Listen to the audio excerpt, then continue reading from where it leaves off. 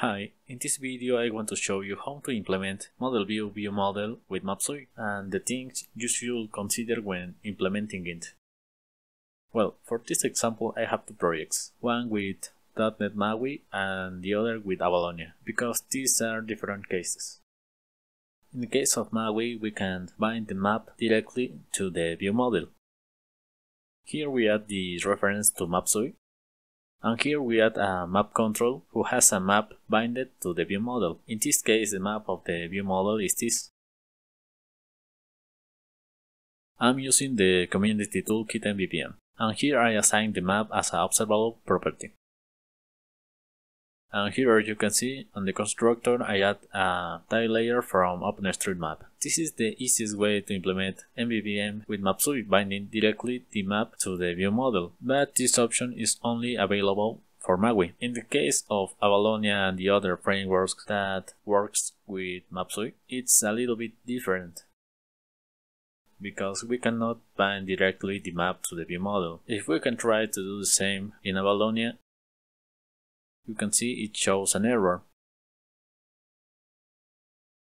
Even if I have the same view model as MAUI. Now for this example I have a button that shows a line sample that we saw in another tutorial.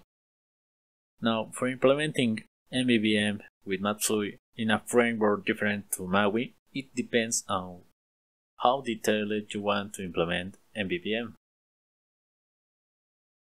because in my case I added a map control and on the backend I have a reference to the view model. I know it shouldn't be like that because the view shouldn't know the view model but it works. Here I assign the data context and assign the map from the view model to the map from the map control.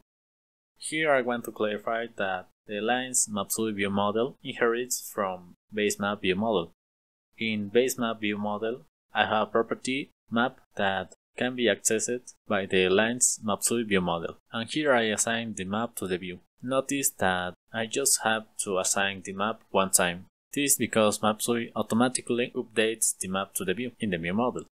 Now this is the code that executes the command linked to the button in the UI. I have a video for this code that explains how to draw lines in Mapsui if you want to go to see it. Now if I run the program, as you can see if I click the button, the method executes correctly and load the lines to the map. Well, I hope this helps you. Like and subscribe and if you have any question leave it in the comments below.